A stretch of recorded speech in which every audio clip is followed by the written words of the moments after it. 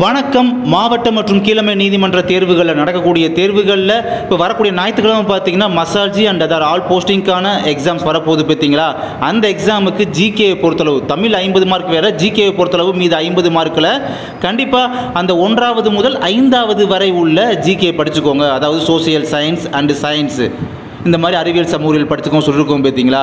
அதுலேயும் குறிப்பாக ஒன்றாவது ரெண்டாவது படிக்கிறீங்களோ இல்லையோ கண்டிப்பாக மூன்றாம் வகுப்பு நான்காம் வகுப்பு ஐந்தாம் வகுப்பு அறிவியல் மற்றும் சமூகவியல் படிச்சுக்கோங்க அப்படின்றது தெள்ள தெளிவாக நம்ம ஆரம்பத்துல இருந்தே சொல்லிட்டு வர ஒரு விஷயம்தான்.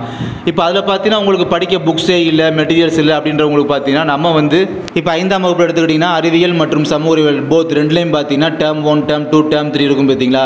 இந்த மாதிரி அப்போ ஃபிஃப்த்தில் மட்டுமே ஒரு ஆறு பிடிஎஃப் டாக்குமெண்ட் அதே மாதிரி அப்போ தேர்டு ஃபோர்த்து ஃபிஃப்த்துன்னு சொல்லும் போது மொத்தம் ஆறு பன்னெண்டு பதினெட்டு. ஓகேங்களா? மொத்தம் பதினெட்டு பிடிஎஃப் நம்மக்கிட்ட மெட்டீரியலாக இருக்குது இந்த மெட்டீரியல்னால் பார்த்தீங்கன்னா இந்த மெட்டீரியல் வந்து உங்கள் ஸ்கூல் புக்ஸில் உள்ள அதாவது ஸ்கூல் புக்ஸில் உள்ள அந்த உங்களுக்கு தெரியுமா? தெரிந்து கொள்வோம். அது மோஸ்ட் ப்ராபப்ளி அது இருக்கும். அதுக்கப்புறம் ரொம்ப ரொம்ப முக்கியமான பாயிண்ட்ஸ் அந்த பேராகிராஃபில் உள்ள பாயிண்ட்ஸ் அது வந்து அந்த பாயிண்ட்ஸ் பார்த்தீங்கன்னா சிக்ஸ்த்து செவன்த் எயித்தில் இல்லாமல் இருக்கலாம். ஸோ அந்த மாதிரி பாயிண்ட்ஸை எடுத்து நோட்ஸாக வந்து மெட்டீரியல்ஸ் நம்ம கொடுத்துட்டு இருக்கோம்.